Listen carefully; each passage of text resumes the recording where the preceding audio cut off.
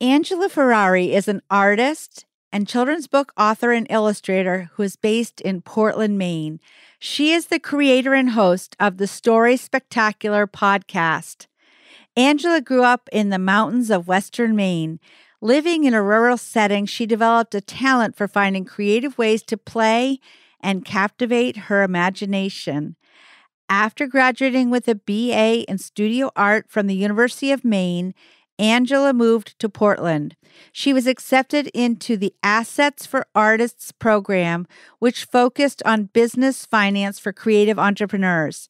After completing the required training, Angela received matching grant funds for working capital. She then became a successful painter. She has since expanded her artistic endeavors, writing and illustrating four children's books Digger's Daily Routine, An Extraordinary Book, What Do You See? The Shape Escape, and Lawrence the Lighthouse. Angela has also launched Story Spectacular, a children's story podcast which features original stories and classic retellings. Welcome to the PR Maven Podcast, a podcast all about growing your network and building your brand through traditional and digital networking techniques. I'm Nancy Marshall, the PR Maven and CEO of Marshall Communications. I've been strengthening brands through PR for over 35 years, and now I'm celebrating the success of executives influencers, business owners, and entrepreneurs from all around the world, all of whom have cultivated their brands and broadened their networks through traditional and digital networking methods. Each week, I interview one of these interesting and influential individuals and provide an opportunity for you, the PR Maven Nation, to gain insights from their strategies and stories. So stay tuned for this week's episode, and thanks for listening.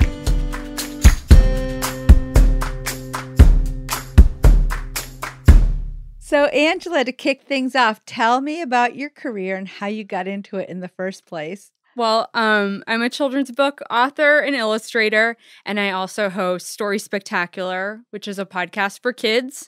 And how I got started, I went to UMaine for studio art and got my degree there. And then I moved down to Portland and started my career off as a landscape painter. And I've been doing that for the past 12 years. I've had a lot of fun and success with it. But after, you know, painting landscapes, I was like, oh, this is so fun, but I have more creativity to share. I've got some stories I really want to tell. I want to find a way to expand this. So I started dabbling in writing children's books and illustrating and uh, looked into publishing. So that's how I kind of started getting into kids' books. Um, and I, you know, I went to a lot of conferences and met with fellow authors, I met with agents and publishers, and I realized that that traditional process wasn't for me. I have so much energy, I'm a really fast moving person. So I wanted to have a lot more control over my own destiny and my own career. And I decided to self publish. And when I decided to self publish, I said, I need to find a really creative way to self promote get my name out there as an author. And that's why I started my children's story podcast. I love that. That's awesome because you exemplify exactly what this podcast is about, which is you build your brand and your network both online and in person. Mm-hmm. So you've done a really great job of that. It's the it's the most meaningful work I've ever done because it's 360 degrees of creativity it's writing, illustrating, sound engineering, and, you know, telling jokes, meeting with kids in person, and like hearing from kids all across the world um, through online means. So it's been the most rewarding thing I've ever done. Not to mention dancing. Exactly. exactly. Which we may end up doing a little bit of. We were trying to figure out how we can dance on a podcast. and of course, Tanner, the audio engineer here, is a little worried about laughing because he knows that we're going to have a hard time getting through this yeah. when you and I get together. It's a giggle fest. I know. It is, but that's what I love about you is your your love of life. It's Mhm. awesome. And we met through the League of Maine Podcasters, right? We That's- did. But of course, I knew of the Ferrari family from Farmington, Maine. Yep, there's a lot of us around. Yeah. That's right. And I think that um, actually my mom went back to University of Maine at Farmington when she was 40 years old, which would have been like in the late 70s. And I think she was in a biology class or something with maybe your one of your uncles. Okay. Well, Feather Ferrari. is oh that- yeah. That's my uncle Steven. Yeah, they call him Feather. right? I think my mom and Feather were like besties. Oh, In Maine is a small world. I know. I always say it's good if you're good and bad if you're bad, Mhm. but either way, everybody's going to know about it. So yeah, that's a that's a, a tie that we have that I'm not sure you knew about was uh, my mom Martha and Feather. so if you had it to do all over again, is there anything that you would do differently? Um, I would have hired you at the beginning and focusing focused more on my marketing because I just didn't have a very open-minded approach to marketing when I started my business. I treated it like a chore.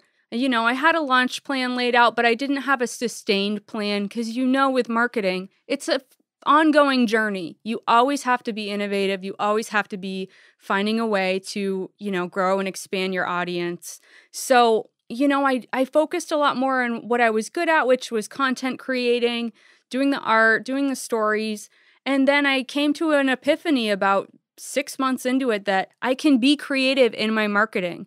It doesn't have to fit this traditional mold. I can be a storyteller in, you know, how I promote Story Spectacular. So I started doing videos, collaborating with um, fellow podcasters, and I started finding ways so my audience could participate with the show and interact even more. So I started having kids come on and tell jokes and do animal noises, and in turn, they they started sharing even more with their audiences too. So I think it's about thinking outside of the box, and that's what I wish I knew sooner. Well, I'm There's so much I want to say. like, first of all, you're right on target with uh, content marketing. I mean, Mhm. that's the way that marketing is going. But the other thing I want to mention is uh, Roger Lambert is a world champion moose caller from Strong, Maine. Okay. And I- I would love to introduce you because I've actually worked with him promoting moose calling championships. like one of the biggest PR successes we've ever had is we got five minutes on National Public Radio of this guy, Roger Oh, Lambert, doing a moose call. and of course, uh, then one time we had him doing a moose call for the Weather Channel uh, via Skype, and he was warning. He he had this woman meteorologist who like was doing the moose call, and he was like, "Be careful, because you're going to have male moose coming into the studio, thinking that it's rutting season." but anyway, that is a sideline to. I mean, that's not really what we're here to talk about. I just wanted to say that uh, Roger is somebody I didn't know that was a thing, so thank you moose for calling? illuminating. Oh Yes. yeah, that's very important. Yeah, for moose hunting, which is moose hunting season now, I think. So, oh, it's so funny for a Franklin County girl. I'm surprised. I knew about the turkey calling, but I didn't Oh, yeah. know about the moose calling. Oh, I, I didn't know. Yep. Uh, yeah, we'll have to do that sometime. Um, so, can you give me a specific example of how you've used social media or PR that to advance your cause and tell your story? Yeah. So um, early on, I connected with fellow podcasters through social media, and I over the past couple years, I'm in regular contact with them eh, to the point where I forget that I haven't actually met these people in person because it's it's a very close connection. We share um, techniques, we talk a lot of shop, but the big thing I got I've gotten out of it um, is collaborating and being on each other's shows, writing articles about each other. It would have been so easy for me to look at other children's podcasters as competition and not wanted to work with them, but instead we've been able to share and grow audiences together and all get better at our craft because we connect with each other. That that is a really effective way to grow Mhm. your network is to look at other people's networks and to embrace their networks Mhm. and to to share your audience or your network with them. So I'm so glad you've done that. And here you are today. I'm sharing you with my network too, PR Maven Nation. Hey. I'm sure they're gonna love love hearing about you and they'll all want to meet you too. So um are there some obstacles that you faced in your career and how have you overcome them? Uh yeah, the biggest obstacle I have, and I, I don't know if I should even say this, but even like doing podcast interviews, I get the nerve norfs so bad before I have to speak, before I do live events, any kind of public engagement. Um, you know, it's weird because up until this point, I never was a shy person. I was never uncomfortable in social situations. But when it came to my work, I care so much that I want to come off perfect. And I would just get so nervous, like over prepare and, you know, have these expectations that, of course, you're not going to be able to fulfill. And so I, ha- I've had to overcome that, you know, the, these like highs and lows of like putting myself out there in front of people. And the big way, honestly, I've overcome it is um, dancing. Yeah. Yeah. So I even started recently being an instructor at a local neighborhood um, dance studio where I forced myself to get up in front of people and teach. And the big thing it's taught me is I can't prepare. I have to adapt. I have to focus on who's in front of me. Are they, you know, dealing with a knee injury or are they high energy or low energy? And make sure I'm tailoring my content to fit their needs instead of being so in my head and having my own expectations of how things are supposed to go. So by doing that, I've been able to, you know, approach any live event with a sense of okay this isn't nerves. I'm excited. I can do this. I know i can get through it and i can enjoy i can enjoy being present in the moment with what i'm doing. Well, that it's so surprising to me. I would never ever think in a minute that you had any kind of nerves because you are so comfortable when you're out there performing. i'm glad it comes off like that. So, um, well, before we go to the break here, let's uh, talk about the quirky turkey since it's about to be Thanksgiving. And I know that it's hard for podcast listeners to imagine, but like uh, if we were to do that quirky turkey, you are losing it already. Like, exactly how does it go? You have to.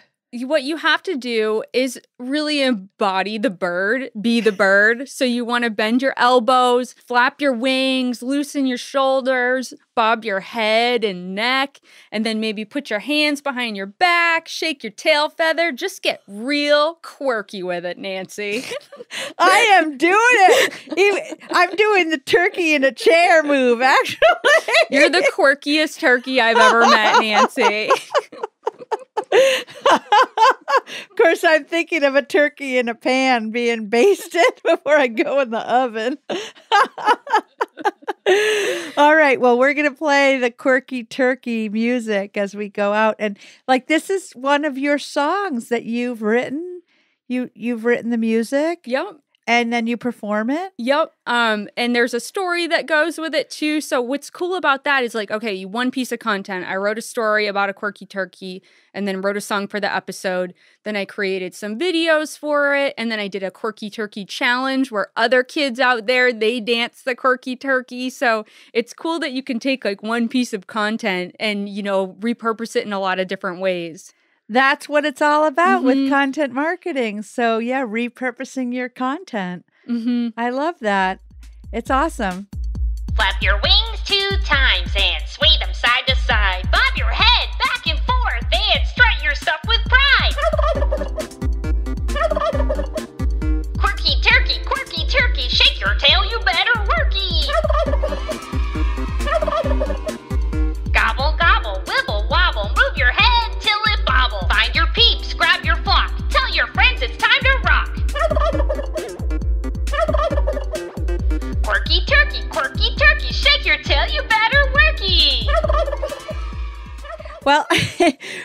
We're going to just take a quick break now. We'll be back with Angela shortly. But I first want to share some exciting news with you about how you can connect with me uh, about the podcast. We've created the PR Maven Nation li- listener line, and you can call 207 620 9075 to get in touch with me and ask me questions, share feedback, or ideas for the podcast, including who you'd like to hear on the show as future guests. So I look forward to hearing from you. And actually, now that we're talking about Roger Lambert, I think I need to have Roger Lambert on here to do one of his moose calls from Strong, Maine, up there in Franklin County. but right now, we're going to take a quick break and be back with more in just a moment.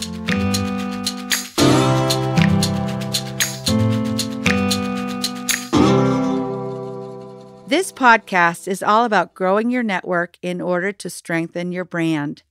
In my 30 plus year marketing and PR career, I have seen many organizations waste their precious time and money on marketing because they're trying to obtain success without any strategy to achieve their goals. So many organizations and companies suffer from what I call the shiny object syndrome, trying every new fad that comes down the pike. That's why I created the Marshall Plan 15 years ago. We have done over 100 of these plans for clients, helping them to get out of their day to day routine to identify their goals, solidify their brand story, focus in on their ideal customer avatar, analyze their strengths, weaknesses, opportunities, and threats, and create a realistic budget and measurement dashboard. We create the Marshall Plan collaboratively with our clients over the course of three months. We have a 65 step process to create a highly customized, actionable plan. And it's not like we come in and say, we are the consultants from away and we know everything. Instead, we come in and say, let's sit down at the table with your leadership team and we'll bring our expertise in what's working in PR and marketing. And our client team brings their knowledge of what's working in their organization. And together we come up with a really amazing plan. For many, it's been a transformative process. I have watched how teams have come together and their faces light up because they have such a sense of accomplishment and they're so excited about the future of their organization. We help our client figure out the best way to implement the plan, sometimes using people within their organization and sometimes with our help. We would love to chat with you about how you can expand your network and achieve your marketing goals with a Marshall Plan. Go to marshallpr.com slash marshallplan to learn more about the process, or better yet, send me an email at nancy at prmaven.com and we'll set up a time to talk and get started. And now back to our conversation.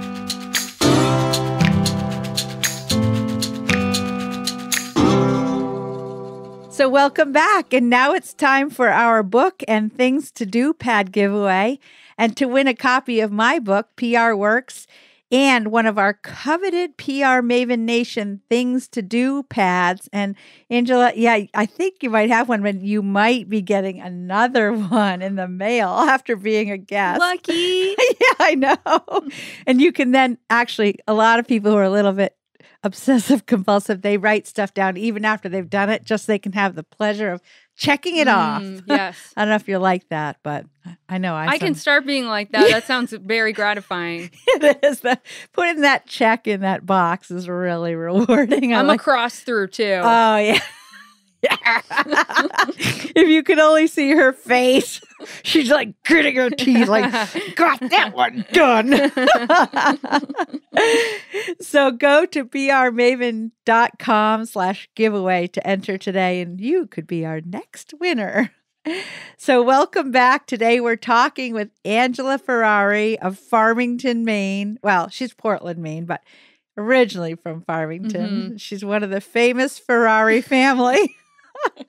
That's a lot of alliteration. That's a lot of F's. Yeah, actually, her her relatives own Ferrari Brothers, which is a famous store. hmm I have a pretty funny story actually I just have to tell it now about Ferrari Brothers. when I was married in 1987, um, my father, well, we got our, the tuxedos for the groomsmen and my father from Ferrari. From Ferrari Brothers? Yes. Oh, man. And um, and my father went in there to get fitted for his tuxedo, and I think the store was busy that day. And so they said to him, "Are you a salesman?" And he was in sales, like electrical equipment sales for Westinghouse. So he said, Yes, I'm a salesman. And they said, Okay, go stand in the corner. I think what they meant was like, Are you here to sell us something? So therefore you're not a priority. but he ended up like going and standing in the corner for quite a long time, waiting to get fitted for his Oh tuxedo because he was a salesman. wow. Anyway, but I know that's your, those were your uncles, right? It's my grandpa and his two brothers, my great uncles, Norman and David. oh, okay. Yep. And so Marty, Marty took it over. Oh, okay. Yep. All right. Yeah. See, again, these are all famous Farmington fellows to keep with that F theme. okay. So, anyway, getting back to our questions, I know that PR, marketing, and, and certainly social media have changed drastically over the course of my career.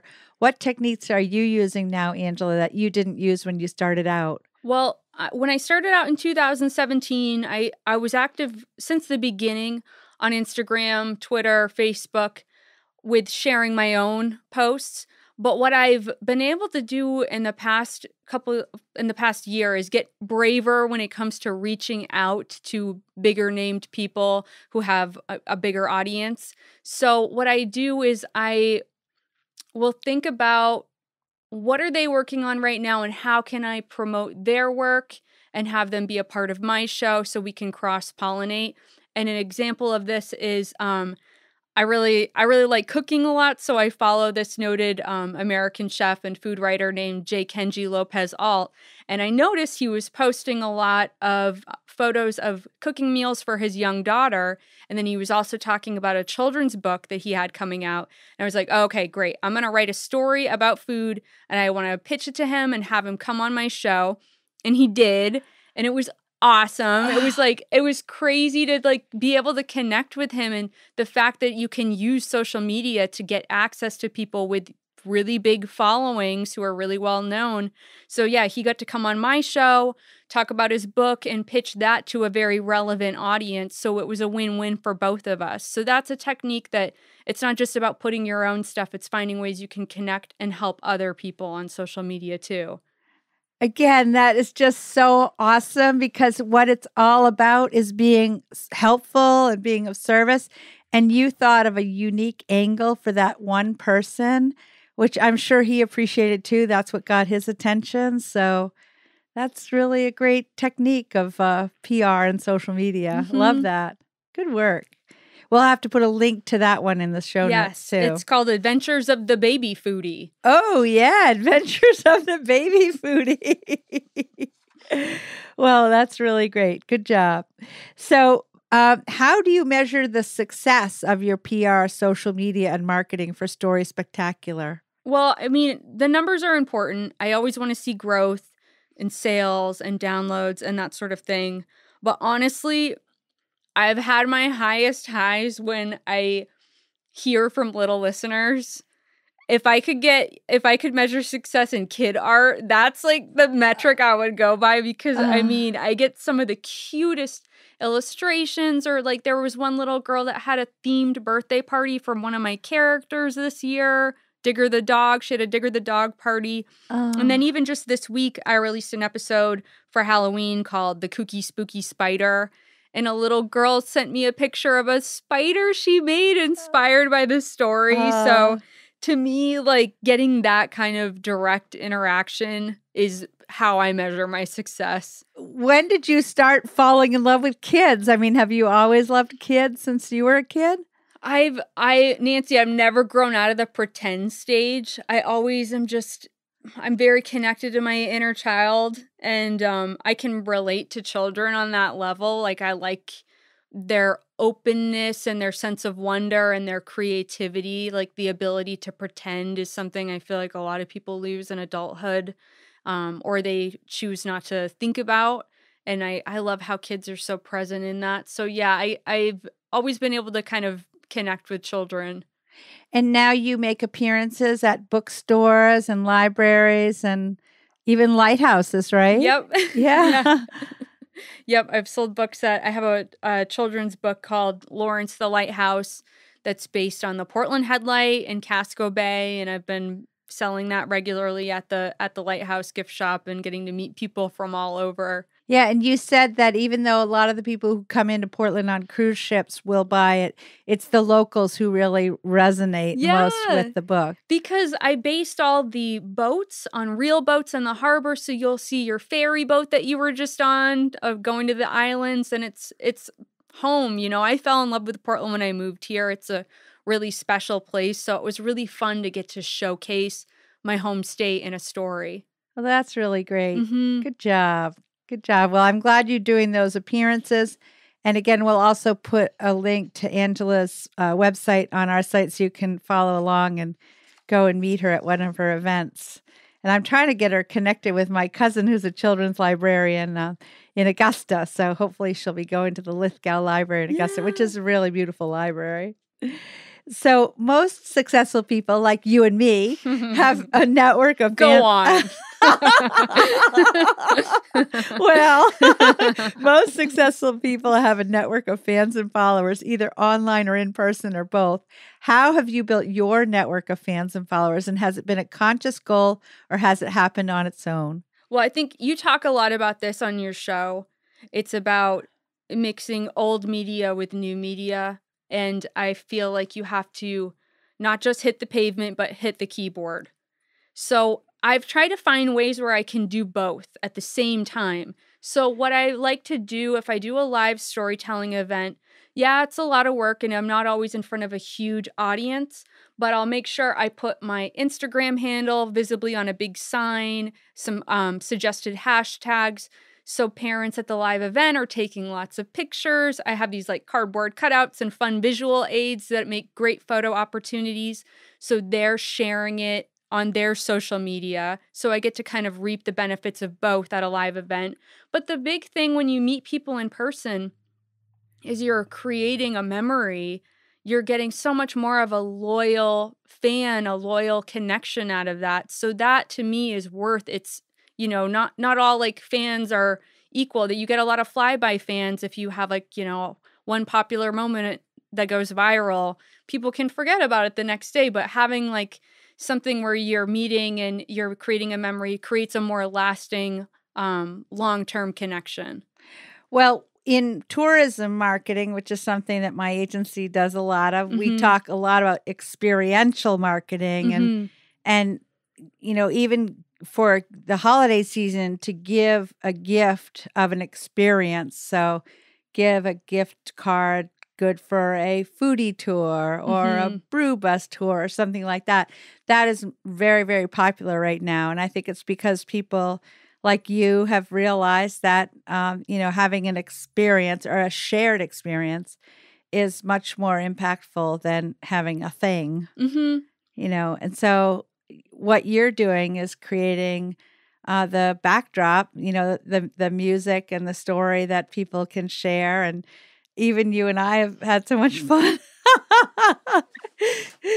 dancing and uh, I, I- just love your videos and and I I like to share them with any moms that I know too because I just I wish my kids were little. My kids are in their 20s now, so I don't think they would do the quirky turkey dance with me anymore. Damn. I wish they would, though. to talk to them about that. but hopefully someday I'll have some grandchildren and then I can uh, then I can do the dances. Oh, And I told you how when I was growing up, my mom was a preschool teacher and of course she was big for in the hokey pokey and then this this song gray squirrel gray squirrel swish your bushy tail? You know that was like she would always uh, do that with her preschool kids but i do remember parties that my parents would host and after she had had a few cocktails she would sometimes start doing the gray squirrel too I'll have to remind her that she's 86 years old now. I don't know if she recalls, but I think I'll remind her. so, Angela, how has your network helped you to advance your career? Well, I I completely rely on my network and my audience to do what I do. Um, and I learn a little something from everybody, even the people uh, you've recently talked about this on your show, even the people that critique what you're doing. You can use that as an opportunity to, to improve and to they challenge you to do your job better. So I I need all of it to keep going.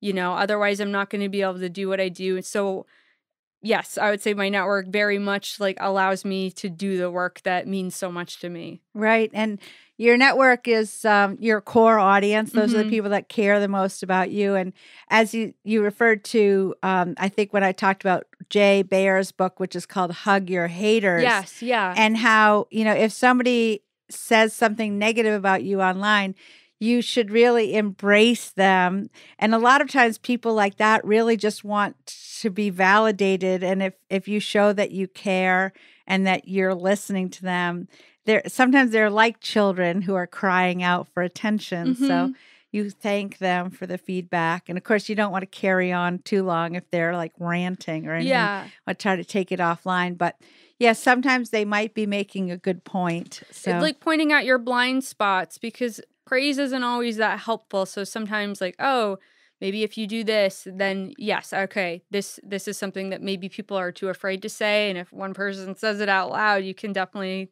take away something from it. Yeah, exactly. I just hope people, I hope nobody sends me comments saying, Would you please stop laughing?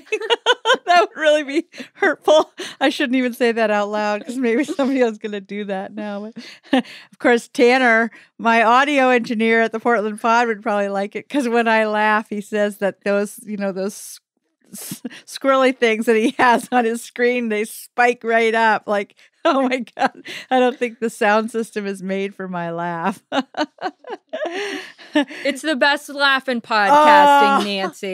Thank you. That's why you're here as my guest today. oh, thank you. So, in your line of work, what is a resource such as a book, a website, or an app that you have found helpful and why? Um, I'm on YouTube every day looking up tutorials on how to do something because I'm completely self-taught. I I never, you know, knew how to do any kind of sound engineering. I didn't know any of these programs on how to start a podcast. So I've spent hours and going on forums. Um, we're so lucky we live in a time where we have access to so much free information instantaneously. It's it's helped me, you know, every step of the way get through the the hurdles of technology. Yeah, well, it, it is really amazing mm-hmm. what's available on yeah. YouTube. And if you have any kind of a question like how do I install a light bulb or whatever it is, yeah. other people have probably thought the same thing. Yep. So um, yeah, it's really a great resource. I, I don't know how we ever lived without the web. it's hard to imagine. But back in the days of like rotary telephones and no web. Yeah. You know, if we wanted to send a letter, we had to send it in the mail, which actually I still like doing yeah. anyway. so what is your one piece of advice for someone starting out in their career? Um the big thing I would say is no one is going to give this to you. You have to put in the work and I mean capital W work because that's what it takes. And you can have all the talent in the world, like there are far better writers, illustrators, sound engineers than me, but I think what makes the difference is that I show up and put the time in, and that's going to make you an outlier. Anybody can do it. It's it's just all about putting the work and holding yourself accountable. I couldn't agree more. And you you referred to an outlier. I mean, is that are mm-hmm. you referring to Malcolm yes, Gladwell? Yes, I'm so obsessed with Malcolm Gladwell. Good yes. for you. Yep. And also, yeah, I mean, I think of the word persistence, mm-hmm. and I mean, I have been persisting in my career for, well, over, th- th- I have a hard time saying it, 35 years now. And it doesn't get easy because I just, every day, I heap more pressure on myself to just keep at it and mm-hmm. keep showing up. And um, I think if you just try to like rest or well i mean i guess i should rest a little more but if you take your foot off the gas uh, somebody's going to pass you Mhm. on the highway of career success so yeah sticking with it is really important so angela is there one parting thought you'd like to share with pr maven nation today Um, yeah, my motto is create, create, create. So I I feel like everybody has a form of music in them. And I think it's so important. I challenge your listeners to find a way to get it out into the world. Yeah. Well, um, it, I think it's wonderful that you're so creative, and I think music is just a common language for Mhm. people all over the world. And I'm sure you've had fans and followers from around the world who love your music, and and uh, it just it also is a great thing for adults to do with their children too, right? Is to Mhm. To just play and dance. I mean, So- you still remember that song that your mom sang. I think everybody's got somebody who sang to them or told them stories or Oh yeah. Yeah.